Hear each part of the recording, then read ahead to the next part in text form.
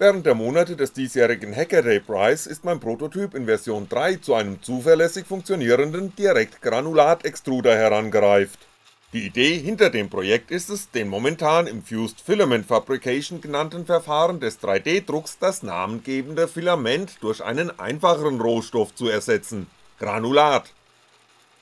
Filament ist der Plastikdraht, der als Rohmaterial in vielen 3D-Druckern eingesetzt wird dieser Plastikdraht ist recht aufwendig in der Herstellung, somit relativ teuer, wird üblicherweise auf Plastikspulen geliefert und wer einen 3D-Drucker besitzt, in dessen Keller wächst der Turm leerer Spulen, zum Teil noch mit Resten an Filament, schnell in die Höhe. Wenn nicht im Bastelkeller, dann halt auf den Mülldeponien des Planeten. Apropos Müllhalden, dort landen auch all die Fehldrucke, die unweigerlich entstehen. Weg mit dem Filament und zurück mit dem Plastikabfall in den Produktionskreislauf ist die Idee, die schon kurz nach meinem ersten Kontakt mit 3D-Druckern in meinem Hirn entstanden ist.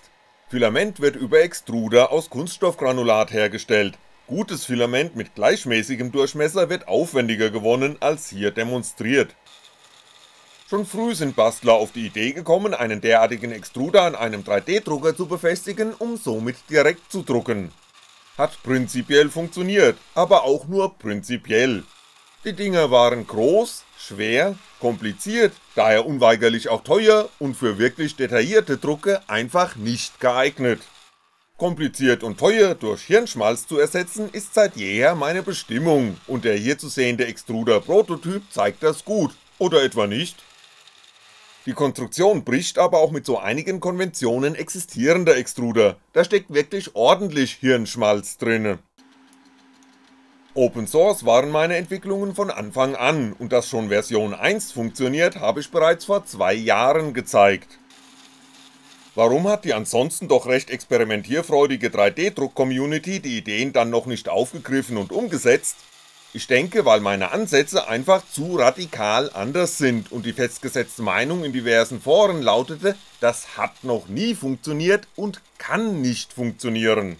Funktioniert aber offensichtlich doch, wie hier zu sehen.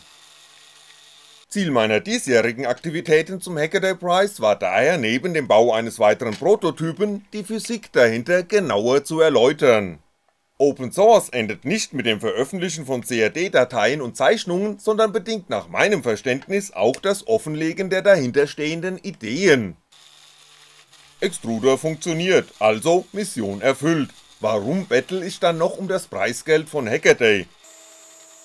Weil ich noch so einiges zum Thema beizusteuern habe und der nicht gerade billige Weg zu einem maschinell in Serie herstellbaren Extruder noch zu gehen ist. Ein Grundproblem, das mir zu lösen gelungen ist, liegt im Granulat. Links zu sehen ist industriell gefertigtes Granulat, rechts der von mir verwendete Rohstoff in Granulatform. Die Unterschiede seht ihr doch auch, oder? Wird also nur das teure Filament durch ebenso teures Spezialgranulat ersetzt? Nein, denn ein handelsüblicher Mixer und ein improvisiertes Sieb machen aus dem industriellen Granulat den geeigneten Rohstoff für den Extruder.